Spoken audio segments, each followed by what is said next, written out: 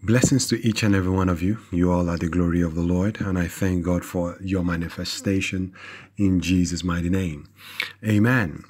I just want to bring this word to uh, the United Kingdom because I believe this is the hour that the Father is basically making all things new over the United Kingdom. And I thank God for you because your beginning began when there was a new king placed on the throne and, you know, coronation began in you. And this is the beginning of a new day inside of you. And so I just want to share this word uh, over uh, the government, uh, especially the Labour government. And um, this is what the Lord is basically speaking in this hour. Because, you know, you've been doing things in a manner that is pleasing the Lord. To God be the glory for that in itself. And it's a place where you have to understand that you were once in power. And when you were in power, it was a place that the person who was leading you at that moment in time decided to lead you into war. And he led you into war because it was not the right thing for him to do. And he himself knew that.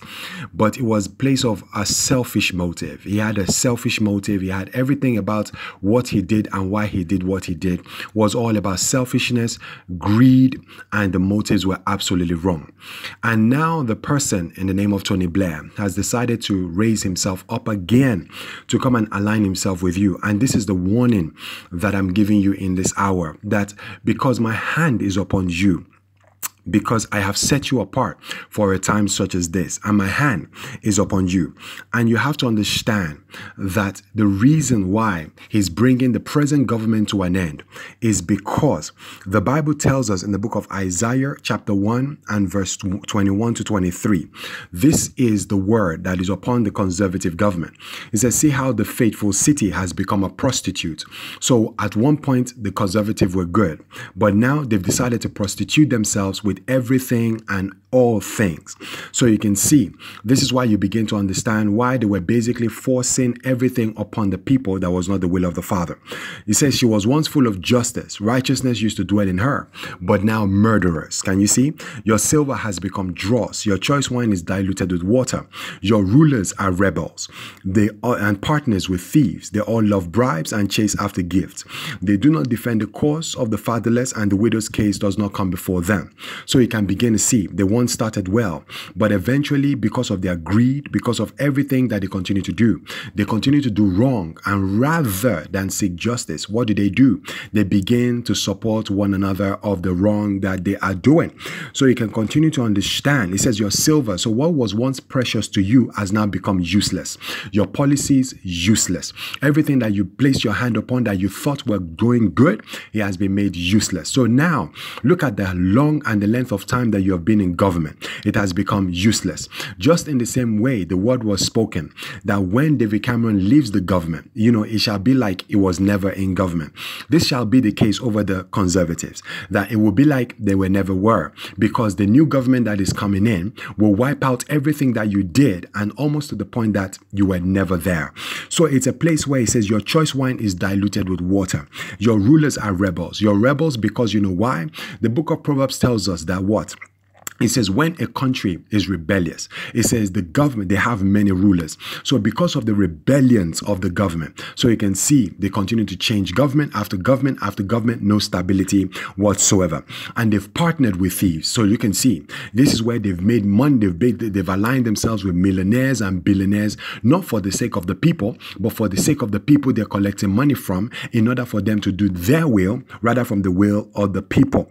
And they love bribes. And it says they chase after gifts. So it's about who can make the best promise, enter in and fulfill that promise for the sake of the people who are what? Paying them rather than for the people who are seeking justice in every dimension. So this is where the Lord is basically helping you to understand that you do not defend the cause of the fatherless and the widow's case does not come before them. So this is the reason why the conservatives are coming to an end. And for you, the Labour government, the Lord is helping you to understand.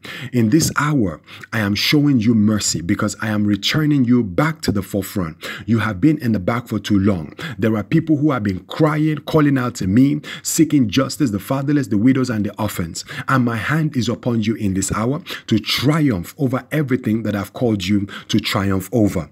But I want you to understand that the moment you begin to partner with the man, Tony Blair, and his activities and all that he continues to stand for, you will begin to understand this is where you've aligned yourself with something that is not of me.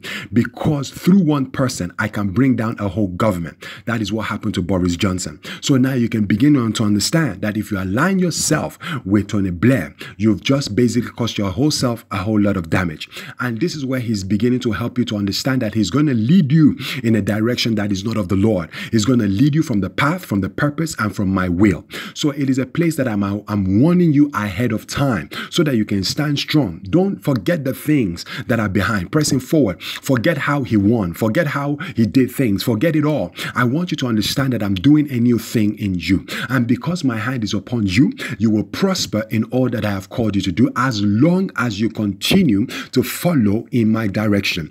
This is the spirit of wisdom and the spirit of revelation and the spirit of understanding that is resting upon your government in this hour because I am ordering your steps according to my word. There are many who are standing on the wall, watching and are praying for you. And this is the reason why I have decided to show you mercy to bring you back to the forefront in this hour because I see your faithfulness. I see your desires for the people. It is not what the press are saying, it is not what they've been publishing or what the news reporters are speaking concerning you. It's about your heart because I knew the heart of David. That is the reason why I brought him to the forefront. But I want you to understand the word that says, it says, be careful how you stand. So it is a place I am asking you, be careful how you stand with the people that are of the past and you think that you can basically excel by bringing them back to the place in which I have already ordained that they should not be in because I am setting a new path for the glory that I am inside of you. So this is the mandate that I have called you. According to Isaiah 1 and 27,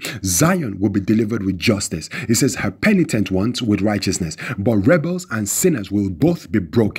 So you can see if you rebel against God and if you sin against his commandments, it says you will be broken. And those who forsake the Lord will perish. So you can see if you decide to partner with whom I am instructing you not to partner with, it says you will be broken. You will be ashamed because of the sacred oaks in which you have delighted. You will be disgraced because of the gardens that you have chosen, and you will be like an oak with fading leaves, like a garden without water. The mighty man will become tinder, and his work and a spark both will burn together, and no one will quench the fire. So you can see that the warning of the Lord always go ahead before he does what he needs to do. So it is in this place that you're rising because I am having compassion upon the United Kingdom. And it is a place because I have set them apart in order to excel them. But I have called those who were before you to basically bring them to the place that I have called them to be. But they have refused to answer the call. Hence the reason why I'm bringing them to nothing so that you can arise. So rise, shine, labor. For your light has come and the glory of the Lord has risen upon you. You are walking in the manifestation of the glory of Zion because every dimension of you I have prospered in the what I have called in what I have called you to do. So go forth in triumphant victory because this is your beginning of days, the beginning of a new beginning inside of you because this is a new beginning over the United Kingdom. I bless you all in Jesus' mighty name. Amen and amen. I just release wisdom, I release mercy, I release understanding over the Labour Party, and I declare to the glory of the Lord that the purposes and the will of the Father will be manifested upon you. The Bible declares that David was a man after his own heart. So I declare that you're walking in the manifestation of the word that you are after God's heart. It's not about a party, but it's about the people. It's not about a party, but it's not it's about it's not about a party, it's about the people. But God has called you in order to be able to to basically bring the people back into right standing because you are Zion and you are delivering the people with justice. I declare this over you. You are blessed and you're triumphing in the blessing of the Father. To God be the glory. I love you all in Jesus' mighty name. Blessings to you, United Kingdom. Amen.